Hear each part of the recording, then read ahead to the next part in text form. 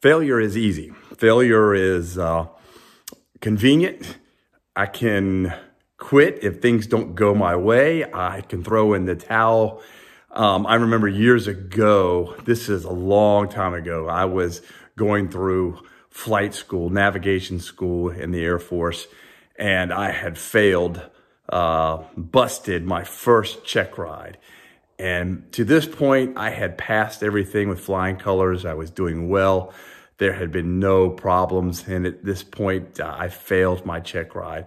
And it, I was ready to give up. I was ready to quit. I, I think success had spoiled me. Success does that sometimes to us. Success, it will spoil us. And uh, so God has to allow us to experience failure. And then that failure is going to determine or doesn't determine, it reveals to us our character, who we are. And at that point, I just wanted to quit. Fortunately, I had a roommate who was uh, two or three months ahead of me in the program, and he really challenged me. He took me out to eat that night, and he said, Todd, don't quit. You get back up, get back on the horse. Um, go, go back, study, prepare for this ride again and uh, prepare for the evaluation, go in there and pass this thing. And I did just that. And I was able to pass the retake, the retest, the reflight, and uh, that check ride and moved on in the program and eventually graduated. That's the last time that I busted anything or failed a check ride or an evaluation. Taught me a valuable lesson, but I wanted to quit. I wanted to give up. Um, Uh, but resiliency, the ability to bounce back had to come in there. And I needed somebody to come along and encourage me to do that. Because again, it's so easy to quit. I, I had made plans in my mind of how I was now going to live life with this failure and what I was going to do in the Air Force outside of flying because of one setback that I thought was tragic. And when I look back on that, it was not tragic at all. There was nothing tragic. It was just a great learning experience. I would go on in the Air Force to have many other failures and many other setbacks, but only to learn that they were there to teach me something. So we have to develop an attitude of resiliency if we're going to succeed in life, to get back up, to bounce back up. That's what resiliency is. It's the ability to bounce back, to get back up, uh, despite our failures, learn something from it, and push forward. That's what resiliency is. So if I had to pick a person who was probably the most, what I would consider, me personally, Todd Robinson, what I would consider, who I would consider to be extremely resilient. There's so many people that we can pick from. Uh, you know, resiliency is common amongst leader after leader after leader. And uh, that ability to bounce back from failure, that ability to bounce back from from a setback. But for me, we could look across the spectrum. And if you look in my office here, um, and I'll stand up for a minute, I have, uh, I'm to, I'm to turn this or I'll pick it up here. You know, I, I, have a lot of books in here on a lot of different people who um, are resilient. They're just extremely resilient, but I'm to walk around here because probably who I would pick, me personally, Todd Robinson, a resilient person. I'm to flip my my camera around here and show you there's some books down here about Winston Churchill. And I would say for me personally, Winston Churchill is, excuse my hand there, Winston Churchill is one of the most resilient people in the history and modern history in the last, obviously the 20th century. We're now in the 21st century. So certainly it, without Winston Churchill, I don't think that we live in the world that we live in today. Um, he he was the catalyst behind winning World War II. Uh, certainly, the United States and its leaders, especially its military leaders, but politically, politically, Winston Churchill was the greatest political leader of World War II. I don't believe it was Roosevelt. Um, I don't believe, uh, certainly not Stalin. Um, uh, but it was uh, it was Winston Churchill, and Winston Churchill rose from the ashes. Uh, the old mythological figure, the phoenix, you know, rises from the ashes, and Winston Churchill over and over and over again rose from the ashes. Political failures um, throughout his career. Um, uh, he was loved by the people, hated by the people, loved by the people, hated by the people, but he always rose above all the adversity. He rose above all his failures to ultimately lead the Great Britain and to lead the world in World War II against uh, Hitler um, and against the uh, the Axis forces. So my favorite figure of resiliency um, would be would be Winston Churchill. Certainly you have yours, and and we should imitate those. I remember I read several books years ago, uh, a series of books on different leaders who were tremendously resilient. Abraham Lincoln, uh, Teddy Roosevelt, Winston Churchill was was certainly one of those, and a number of others as we read through those and just saw the resiliency of these great leaders. Um, and that's what it's going to take for us to to move forward in life, to to have an impact in life, to to uh, God wants us to make a mark in this world for Him, and if we're going to make that mark in this world for Him, if we're gonna if we're gonna win, and that and God wants us to win. Uh, First Corinthians chapter nine is all about winning. Paul Paul reminds us that we're not here to lose; we're here to win. And if we're going to win, we got to be we got to be resilient. So I hope you pick somebody in history, certainly in the Bible, and I I, I could. Uh, go on and on and on about the characters of the Bible. And I'm when I say Winston Churchill, I'm talking about somebody outside of of Scripture. Uh, but we should pick people that we look to, that we admire, that we can kind of gauge to at times when we when we're in those tough times, and uh, we can say, look, if if they can do it, we can do it. So we have to be we have to be resilient if we're going to make a mark and leave an impact in this world for God.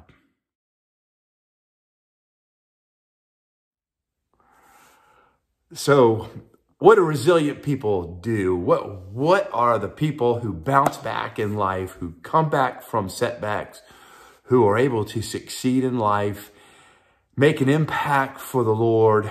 What, what do these people do that helps them to come back from adversity, to come back from failure, to come back from things that seem to set most of us down, that keep us from, from getting ahead.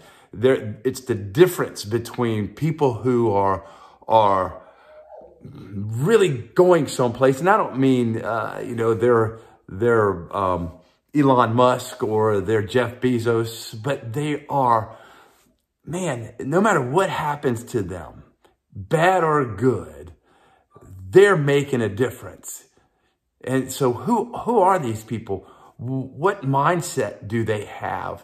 And there's a couple of things that I've noticed about people who are resilient. First of all, um, resilient people practice resiliency in their life every day. What do I mean by that? Well, a lot of times we think about resilient people or people who, who bounce back from big bad failures. Um, the loss of a business or the loss of a loved one, the loss of a home, um, you know, some big tragedy but really, resilient people every day, they practice resiliency in every part of their life. Um, they, they see everything as, um, uh, as, every little part of their life is, is important to them. Every decision that they make is important to them. And so they're always practicing this idea of resiliency in their mind, even if it's minor, even if it's small. And I, am going to get back to that here in just a few minutes. Um, but, but resilient people also have learned to deal with friction in their life. They've learned to deal, they understand that life is, is, is a school. We are all in this school of life. Some of us go to uh, the school of medicine. Some of us go to the school of law. Some of us go to the school of uh, ministry. Uh, um, you name it. We there's all these different schools that people go to, um, but we're all in the school of life and they have taken on life as a constant learning environment. It's this, it's this incubator in which, in which learning takes place all the time. And, and, and they, and they go into the school of life and they fail some classes and then they get back up and they pass that class and they might fail another class. They get back up and they're going to take it again and they're going to eventually pass that class. That's the thing about the school of life. A lot of times if you're in school, if you're in college, if you fail a class, oh, you failed that class and it's, you, you got to uh, take it over again. You got to pay the money to take it over again. Well, when you fail things in the school of life, the payment is you failed. Um, and, and, and you get back up and you do it again. Um, and, and, and so they get through friction. Um, people who have um, uh, get back up here, they, they, they are resilient people, understand that friction is okay. It's part of the school of life. And every single one of us is going through the school of life. And we get to never graduate from the school of life, at least while we're alive. One day when we pass from this world into the presence of the Lord, we will leave here and we will graduate. Um, but until then, there's no graduation in the school of life. So we just have to face that. We have to face that we're, we're in this school of life. There's going to be friction. There's going to be conflict. There's going to be pain. There's going to be things that happen. And we have to deal with that. And we have to face it head on. We learn from it. We grow from it. We understand that though friction in life is correcting things that we need to correct, pain in life, failure in life, um, we want everything to work and the things that are working are working and we like those things. But the things that are failing, they're failing because we need to correct something. And so if we're going to be resilient, we need to correct those things. And, and so if we're going to be resilient here, we understand that there's going to be friction, there's going to be conflict, there's going to be pain, there's going to be suffering, there's going to be things we don't like, and that's okay. What goes along with that is we tend to make excuses. We make these excuses as to why we can't get back up, why I can't try again, why I can't uh, make another effort to do what I just tried to do and I failed. And maybe I need to readjust some things. And maybe I need to take a different view. Or I need to get some advice on some things. I need to bring in a consultant or I need to get a coach or I need to get counseling or I need to go see my pastor or I need to go see my friends or who, whatever it is, um, get back up. Stop making excuses. And the reason that we always make excuses, I do it, you do it, we all do it. The reason we make excuses is because of fear. The reason we don't uh, ask the questions that we need to ask, we don't engage the people we need to engage. The reason that we don't go the places we don't need that we need to go is because of fear. I, one of my favorite uh, um, marketing individuals um, is Seth Godin. And years ago, I decided that I wanted to write a book. And then I, the fears came in there. What if nobody reads it? What if nobody likes it? What if nobody cares? And I heard Seth Godin interviewing a guy one day. And he, and this guy was talking to him. He said he wanted to write a book about his life. He grew up a very, very, very difficult life. Abusive parents um, and he came through that to be a very successful business person. And he said, Seth, I want to write a book about my life. He said, but my fear is that nobody will read it. And Seth said, you know what the reality is, is probably not a lot of people will read it, but that's okay. Who are you writing the book for? You're writing the book for you. You're writing the book for the one or two or 10 or 20, however many people read it. If 10 people read it, you wrote it for those 10 people. If a million people read it, you wrote it for those million people. But whoever you write it for, you don't know, but write it anyway. And if you wrote it just for you, you've got to be okay with that. And I thought, wow, that's good advice. So I wrote that first book and um, um, I decided that I'm writing this just for me. And boy, writing that book calls me to grow, calls me to think. Um, I don't know how many people have bought my book. I, I don't know. I, I really, I, I, don't keep track of that. I know several have, and I get calls a lot uh, for people uh, asking me how they can get a hold of more copies or, or uh, if I can sign them and different things like that. That's okay. It's nothing huge. I'm not a big author, and, and that's okay. Um, uh, so I wrote a second book, and I said, you know what? Same thing here. And um, I've had people stop me different places and tell me, hey, I read your book. I read your book on Jonah. Wow, man, I really enjoyed that. It really helped me to grow. And if that person was the only person that I wrote that book for, that's okay. And I have to be okay with that. I had to learn to stop letting my fears get in the way and just do it. Just do it. So now I've started writing a third book. I'm writing a third book on pain, and I have just enjoyed writing this book and I've learned so much and I've, I've engaged in so many stories on, in, li- in the lives of people who've been through tremendous amounts of pain. And you just write the book. And if nobody else reads it, nobody else reads it. If I'm the only one who writes it and reads it, I have to be okay with that. I have to be okay with, with that because it, it's for me. It, it's for my growth. and maybe one or two people will read it and, and they'll, they'll enjoy it and they'll grow from it. But, but that changed my whole perspective. That's what resilient people do. They just, it, I'm not going to be concerned about what other people think. I'm not going to be concerned about what other people say. I'm not going to be concerned about what other people are doing, uh, or if they're opposing me, or if they're they're laughing at me, and that's okay. If if I'm the butt of your jokes, uh, great. I'm glad that I can I can entertain you. So those are just a couple of things when we're talking about resiliency. It's it, it, it's it's the, the, the pain and the friction and the conflict, you know, that we experience that keep us back, that keep us from getting back up, and then it's it's the excuses which are based in fear. What are people going to think? What are people going to say? Um, what if nobody believes in me?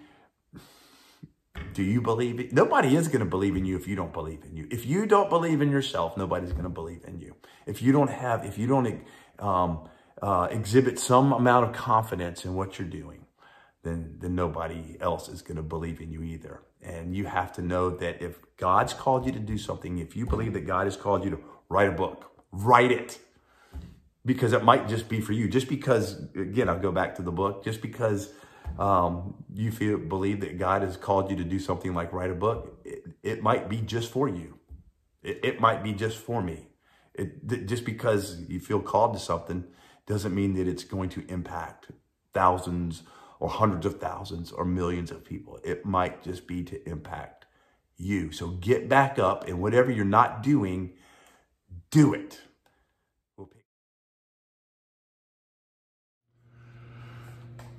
So I'm out here in my in my workshop. Uh, a lot of tools in here. It's a lot of mess in here right now. Um, and so as we continue on this idea of resiliency, um, the first thing that we just, or the last thing that we talked about was the idea that, you know, what keeps us from being resilient? A couple of things are, first of all, our fears, the, the or the, the friction, we should say, the friction, the um, conflict, um, people keep me down, and then the second thing is uh, the fear, which leads to our excuses, right? So friction and fear, friction and excuses, friction and fear um, kind of keep us from getting back up and reinventing the wheel, getting back up and learning from our mistakes and pressing forward in that school of life that we never graduate from, at least while we're alive keep learning, keep growing. You have never arrived. You're never going to arrive while you're here on this, on this big round rock that we call Earth. So I wrote down some things that are kind of you need to have in your tool bag for resiliency. Now I take this, and I'm not going to read this passage to you, but I took these from Second Peter chapter 1, verses 5 through 8, and then uh, a few verses after that. And, and in that passage, Peter is telling us some things that we need to add to our faith in order to grow, because that's what we're doing. And our resiliency is we're growing. We're growing. Resiliency, resilient people are people who want to grow. They want to keep going forward. And so I, I have them on this little piece of paper right here. So I'm going to refer to that um, while we're while we're talking. And you can see my garage, which or my workshop, not my garage, that desperately needs cleaning. It desperately does. And now that the weather's getting better, though it's cooled off a little bit here in March, uh, I've got to get back out here and get this place cleaned up so I can at least get some productivity out of this place. So the very first thing that that resilient people are is is that the, they're diligent. In other words, diligent. When I'm diligent about something, it's important to me. And if if if you're not serious about things and if, if it's not important to you, you're not going to get back up. You're not going to, you're not going to get back up. So we have to be diligent about seeking our growth, about seeking the things that God would have for us. We have to be diligent about those things. They have to be important to us.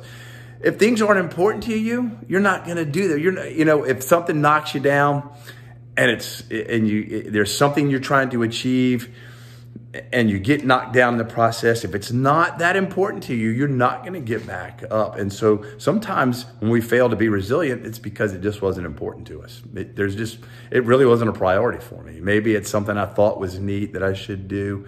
Um, but, uh, you know, there's so many things that I talk about doing that uh, that I talk to my wife about doing. Hey, I might want to try this. I might want to try that. But that, but then I, I don't really follow through, and it's because it it sounded neat. It sounded like a good idea, but it just wasn't important to me, and so I, I didn't do it. Maybe one day it will be. One day maybe my priorities will change, and it will be it will be important to me. So the the second thing is is that uh, it's got first it's got to be it's got to be important to me. Second of all, um, in my life, if I'm going to be resilient, I've got to practice an attitude of excellence. Uh, not just excellence in what I want to accomplish, but moral excellence in my life. Um, I've got to lead a life of excellence um, in terms of what I'm trying to accomplish and how I live my life and who I hang out with and the things that I say and my behavior and all those things. So moral people, moral people who are pursuing moral excellence and excellence in their work are going to be resilient people because in pursuing that excellence, they're going to get back up. They're going to they're going to rise back up because they realize that what they've been going through and maybe what they failed at is just a tool, it's just an avenue. It's a tool because we're in the we're in the we're in the workshop it's a tool that they're going to use to help them achieve what they're trying to achieve. So, moral excellence. So, it's got to be important. There's got to be moral excellence in your life. Thirdly, there's got to be some understanding. You got to be gaining knowledge. There's got to be um, learning that's taking place, not just because of the failure, but there's got to be learning that's taking place because you're pursuing learning. You're you're reading, you're studying, you're listening, you're getting advice on things. So you're getting understanding about the issue or whatever you're pursuing, but at the same time, you're also gaining understanding about yourself. You've got to be self aware. There's got to be some knowledge of who you are. You've got to really do some self examination of who you are, um, what your weaknesses are, what your strengths are. I was talking to a guy earlier today about uh, some goals for his life. And the first thing I asked him, I said, uh, What are your strengths? What are your weaknesses? And sometimes we struggle to answer those things. We know what they are. Well, you know, the typical answer I always get when I ask somebody that question, hey, what are your strengths? Well, you know, I don't really know. You do know. You're just afraid to say them. You feel like you're bragging, or if I say, what are your weaknesses? Well, you know, I don't really, you know, you do know what your weaknesses are. Say them. Say your weaknesses. Say your strengths and be honest with yourself about those things. And we struggle sometimes to, to do that because we fail at self examination and we've got to get good at self examination. We've got to get good at self awareness. Um, what am I struggling with? What am I good at? What am I bad at? And then get help in those areas. And resilient people do that. Thirdly, um, when I have an idea of self awareness, um, and knowledge of myself, then I can exert and practice self control. A lot of times I can't practice self control because I'm not aware of what I'm doing that's wrong. And I have to be self aware. So self control is going to be accompanied by, by self awareness. And in that self control, that's going to help me to practice that moral excellence. And that moral excellence, coupled with self control, means I'm saying no to uh, fleshly desires that, that I may have that I know I've got to kill. It's gonna it's gonna help me to say no to these appetites that I know I don't need um, that may be creeping in there. And when those appetites creep in there, it it prevents me from being resilient because I'm going to give into things I shouldn't be given into that cause me to be weak, um, and they cause me to make excuses and right back down that road of uh, of of not being resilient Next, I've got to be patient. Woo! Resilient people are patient people. In, in, in getting back up and starting over, sometimes I'm, there's some waiting that's going to take place. Um, I may have to wait around for the right opportunity again. I may have to work to save money again. I may have to do jobs I don't want to do in order to save the money that I need to save. And so I've got to be patient. Sometimes I've got to wait on other people and their abilities and their time. And I have to be patient. And that's very, very difficult. I, I say the, the, the four letter word that we all hate in the Bible is W A I T, wait. We all hate that word, but yet there's so much power in waiting. Waiting is a powerful tool. Next, how about humility? I need some humility. Resilient people are humble people. Um, they can admit, hey, I messed up. I failed. I didn't make it. That's okay. Um, I realize now that I've got to talk to somebody uh, who knows better than me, and they're able to admit their weaknesses. They're able to admit their failures. They're able to admit the things that they've done wrong, and then and then just humbly accept those things. Humbly admit those things. Um, so many people don't like to admit that they need help. They don't like to admit that they're wrong. I've got to be admit I'm wrong. It, the Bible says that that God exalts humble people. He, he exalts those who will humble themselves. He can then lift them up. And so we resilient people, they're humble. They're humble people. They're very, very humble. And then finally, resilient people show respect towards other people. They, they have respect uh, towards um, uh, those who are around them, um, even if they may disagree with them, they, they respect them. So a, uh, a, a resilient person is a humble person and is a respectful person. They demonstrate what the Bible would call brotherly kindness towards one another. And when we have good relationships with people, um, then we can be resilient because we need people to help to, to, to, when we fall, when we when we when we fail. If we have good relationships with people, we have people who are be on our team to help us get back get back up again. And then finally, the last thing that we have to have that the that the Bible says we have to have for resilience is sacrifice. The Bible uses the word charity or love, and that's that sacrificial love that we have to demonstrate, that God demonstrated toward, towards us. And when we're willing to sacrifice, when we're willing to sacrifice for, for others, when we're willing to sacrifice for the mission that God's called us to, when we're willing to sacrifice um, and, and, and give everything we have to what we're called to, um, if you're not called to it, you're not going to be you're not going to be resilient. We, we, there's got to be a calling in your life and when there's that calling, we're, we're, we're, sacrificing. So what are those things? Let's, let's recap that, right? So if we're going to be resilient, it's got to be important to me. If we're going to be resilient, there's got to be moral excellence in my life. If I'm going to be resilient, there's got to be a knowledge and understanding and self-awareness. What's my purpose here? Why am I doing this? There's got to be some self control. There's got to be some mastery of those desires and those appetites that we should not be entertaining. There's got to be some mastery around those things. There's got to be patience. We've got to be unmovable in the mission. Are you unmovable in the mission? Unmovable people are resilient people. And there's got to be some humility, some godliness in there. Then there's got to be some respect, some brotherly kindness towards others. And finally, there's got to be sacrificial love, charity. There's got to be a giving over of yourself to others for the mission that we've been called to. And then we'll be resilient. That's what resilient people are, according to the word of God. Isn't that amazing? So I challenge you today, go out back and read Second Peter chapter 1, verses 5 through 8.